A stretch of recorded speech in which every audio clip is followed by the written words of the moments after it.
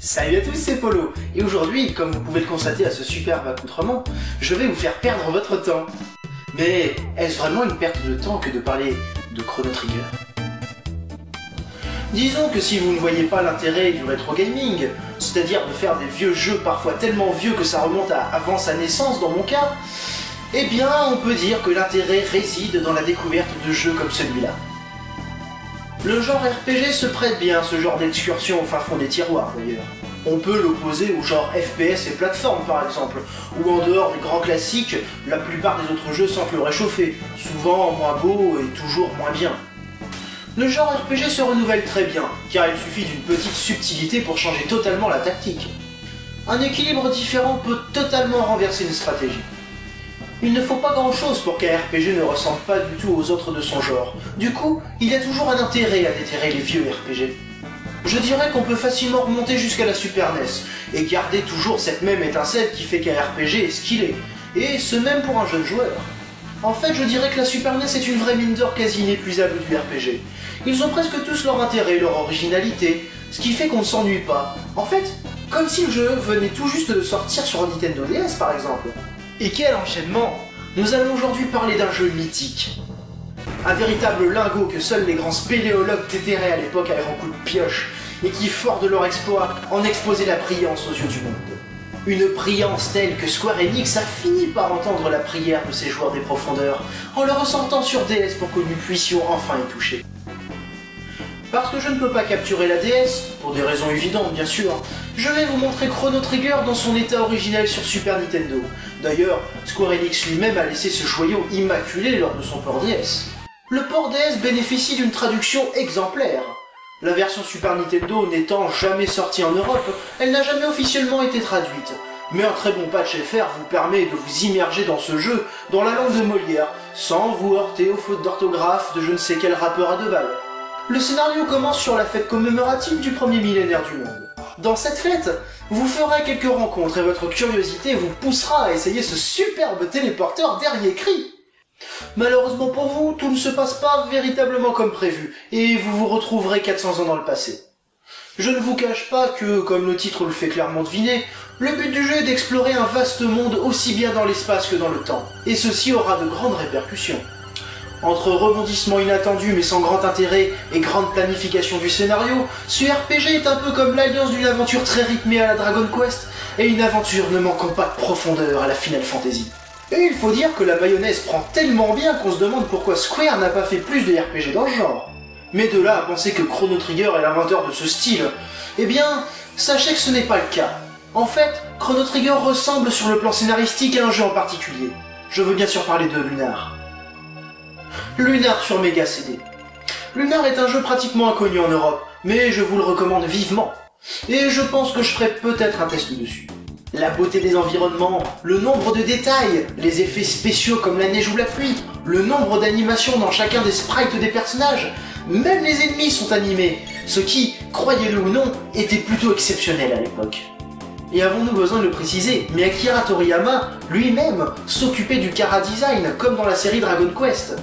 Et avoir Akira Toriyama dans son équipe de développement, ce n'était pas rien. Tout ceci fait qu'on n'a même pas l'impression d'être sur Super NES. Mais on y est bel et bien, et tout ceci tient dans une cartouche de seulement 4 MO. Soit dit en passant, 4 MO est une taille gigantesque pour un jeu Super Nintendo. Il y a eu des cartouches légèrement plus grosses, mais 4 MO était sûrement le maximum à l'époque de la sortie du jeu. Je dirais qu'époustouflant est le seul mot qui me vient à l'esprit. Certes, le jeu est plutôt court pour un RPG Super NES, mais la variété des environnements, leurs détails, tout, tout est comme sorti d'un autre monde. Pour ainsi dire, les premiers RPG PlayStation, comme Suikoden premier du nom, sont moins beaux que Chrono Trigger. Et encore, là je compare à un jeu 2D de la PlayStation, et tout le monde sait que la PlayStation en 2D n'est rien de plus qu'une Super Nintendo légèrement lissée avec les capacités du CD pour stocker plus d'environnement. Mais même la plupart des RPG 3D de cette même époque ne sont même pas à la moitié de l'esthétisme de Chrono Trigger. La bande son est royale, simplement majestueuse. Aucun thème n'est en retrait. Même quand on connaît déjà toutes les musiques, on ne peut s'empêcher d'être surpris par un tel talent, une telle maîtrise. Cette bande son, on la doit principalement à un petit nouveau dont on n'a pas fini d'entendre parler, tant son talent est grand. Yasunori Mitsuda. Mitsuda a été aidé sur ce projet par un vétéran, le grand Nobuo. Mais c'est à se demander s'il a vraiment servi à quelque chose. Car si on retrouve parfois légèrement son empreinte ici et là, Mitsuda a prouvé par la suite, par de nombreuses occasions, qu'il était parfaitement bien placé pour supporter à lui seul la composition de toute la bande-son. La légende raconte que c'est parce que Mitsuda est tombé malade de tant de pression et tant de travail, que pour assurer la continuité du travail, Nobuo s'est sacrifié en martyr. Après, d'autres mauvaises langues, sûrement plus réalistes d'ailleurs, disent que c'est tout simplement parce que Square ne se sentait pas en confiance, et a donc décidé de dépêcher Nobuo sur l'affaire pour faire signer un autre grand nom sur ce chef-d'œuvre, et donc rassurer la presse sur la qualité de la bande-son. Après, qui doit-on croire? Qui sait? Eh, C'est peut-être un savant mélange des deux. D'ailleurs, la présence de Nobuo est vraiment anecdotique, tant il a su garder le style de Mitsuda. En gros, on ne pourrait pas distinguer qu'on a deux compositeurs sur le jeu. Quoi qu'il en soit, la Super NES commençait à accuser de son vieillage, et l'on n'aurait jamais cru possible que l'on puisse aller encore plus loin dans la maîtrise du chipset son de la console. Eh bien, avec Chrono Trigger, c'est chose faite. Et après Chrono Trigger, les bandes son de jeux en général n'ont jamais eu la même saveur. On peut dire que Chrono Trigger a marqué un pas décisif dans la qualité des musiques dans le jeu vidéo. Quand je joue à ce jeu, je ne peux pas m'empêcher de faire des pauses pour écouter les musiques. Donc, la pause musique s'impose.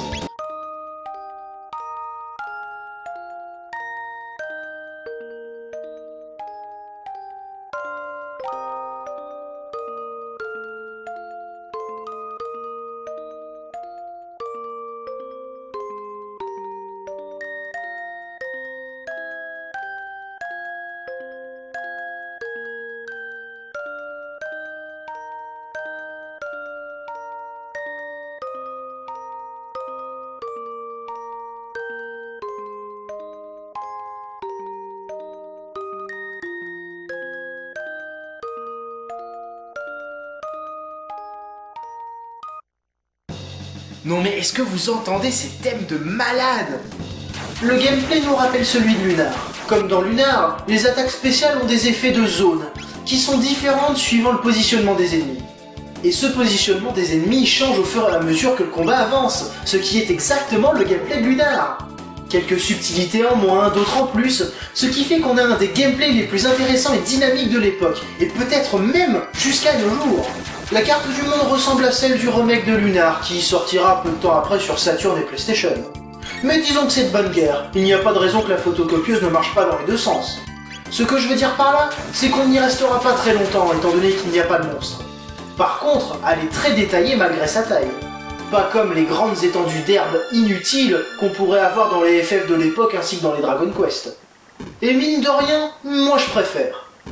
Tant du côté gameplay que du côté scénario, ce jeu ressemble à une sorte de mélange extrêmement bien maîtrisé de Dragon Quest et de Final Fantasy. En même temps, au vu des concepteurs du jeu, c'est très légèrement logique. Car en effet, on retrouve aux commandes une grande partie des castes des développeurs de ces deux séries.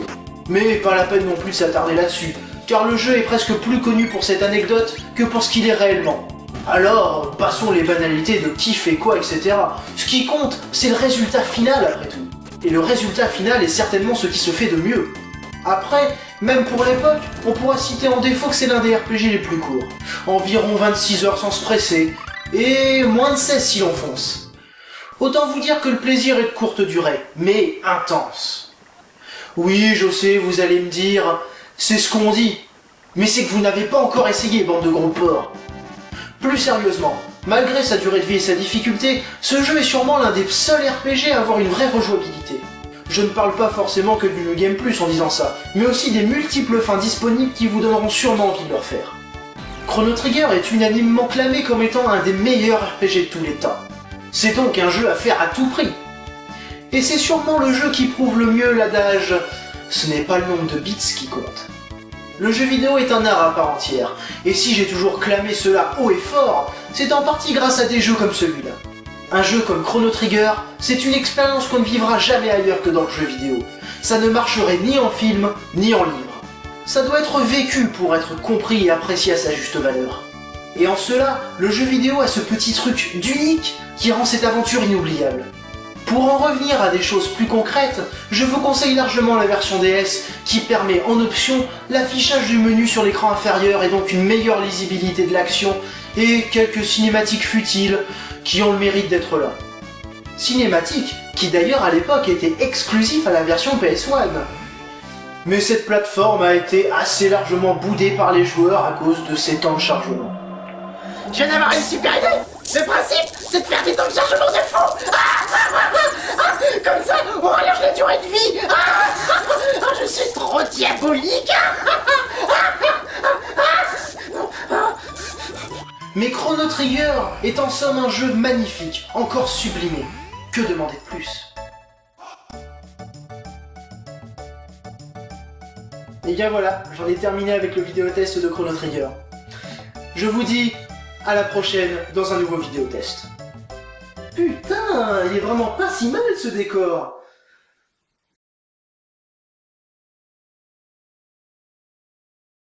Salut à tous Ouh, Fais chier. Disons que si vous ne voyez pas l'intérêt du rétro gaming, c'est-à-dire de faire des vieux jeux tellement parfois... Disons que si vous ne voyez pas l'intérêt du rétro gaming, c'est-à-dire de faire des jeux parfois tellement vieux que ça remonte à avant sa naissance, eh bien on peut dire que l'intérêt réside dans la découverte de jeux comme celui-là. Le genre RPG, ce genre... non. Je dis... En fait, la Super NES est une vraie mine d'or quasi inépuisable du RPG, qui ont presque tous leur intérêt, leur, leur originalité. Originalité, originalité, originalité. Je commence à bafouiller. En fait, je dirais que la Super NES est une vraie mine d'or quasi inépuisable du RPG. Ils ont presque tous leur intérêt, leur originalité. Et ce qui fait qu'on s'ennuie pas, comme si le jeu venait tout juste de sortir. Et quel enchantement Nous allons aujourd'hui parler d'un jeu mythique, un lingot que seuls les grands spéléologues déterraient à coups de pelle, et forts de leur exploit en exposant la... Puisque je ne peux pas capturer la DS, pour des raisons évidentes, je vais vous montrer Chrono Trigger dans son état originel sur Nintendo DS. Non Dans cette fête, vous ferez quelques rencontres et votre... Oh. Rien à foutre.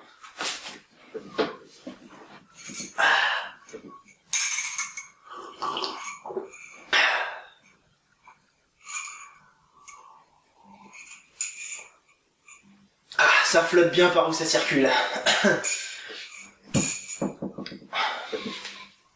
Dans cette fête, vous ferez quelques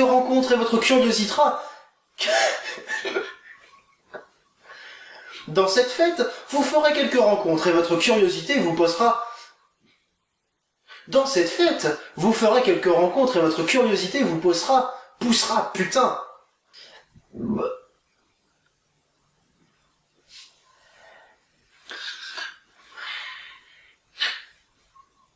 première coupure à 20 minutes. Partie 2. Ah. Oh, il m'énerve ce MSN. Je suis dans ma chambre, je capte pas. Ah, au revoir. Bon. Euh, euh, affichage, plein écran. Voilà. Pas grave, ma souris est à côté, à pas la caméra, je m'en fous. Entre rebondissement inatta... Entre rebondissement. Ah. Bon. C'est parti. Mais de là à penser que Dra... Dragon Quest. Mais de là à penser que trop...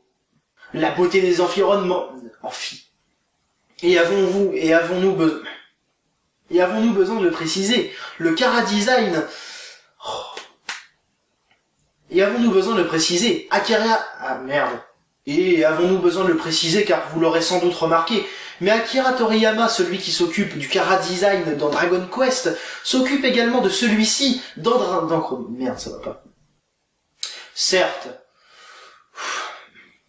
Certes, Akira Toriyama ne sait pas se renouveler dans ses dessins. Oh.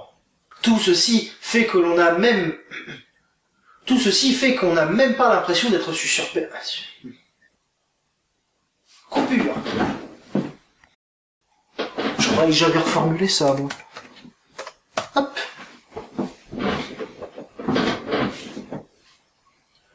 Quoi qu'il en soit, la Super NES commençait à accuser de son vieillage, et l'on n'aurait jamais cru possible que l'on puisse encore aller plus loin dans la maîtrise du chip.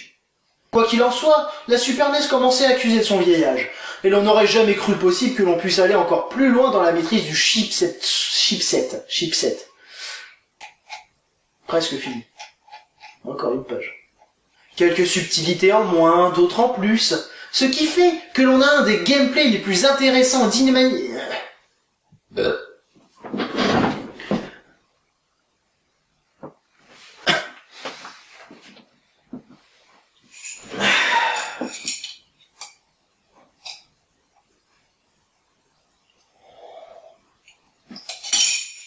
Ah pu. Bah.